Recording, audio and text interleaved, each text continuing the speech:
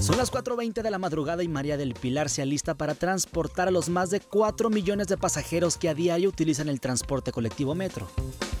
Es una de las pocas mujeres en la plantilla de inspección y de conducción de andenes. Su labor la realiza en la línea 1 de Pantitlán Observatorio. Entro al área de taquilla y después de 14 años eh, logro eh, promocionarme para irme a un curso de conducción y es como logro llegar aquí. De hecho, esta yo creo que es una de las áreas destinadas para la mayoría de hombres. Monitorea, alista, toma controles y sale para ofrecer el servicio a los usuarios. Además de esfuerzos físicos, tiene que tener su mente muy alerta. Es madre de familia, esposa y el tiempo ese no le rinde. Son más esfuerzos, es hacer jornadas dobles. Ha habido veces que uno entra a las cuatro y media de la mañana y sale a las once y media, doce de la noche.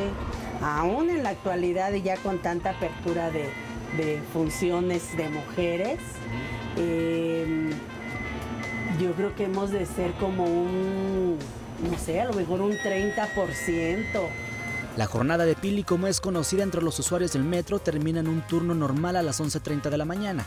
El cansancio en ocasiones se asoma, pues 29 años dedicados al transporte no son fáciles, pero le queda la satisfacción de mover a los habitantes de la Ciudad de México y desde luego a sus hijos. En el caso eh, muy particular mío, que, que mis hijos hayan tenido carrera, que mis hijos hayan podido estudiar y pues realmente todo ha salido de aquí del metro. Como ella, pocas mujeres dedican su vida laboral al transporte de carga o de pasajeros. El INEGI estima que apenas un 15% de las mujeres en México desempeñan estos trabajos. Finalmente yo creo que todo es a través de retos, a través de confianza en nosotras mismas y saber que pues podemos lograr ¿no? lo, que, lo que muchos hombres pueden.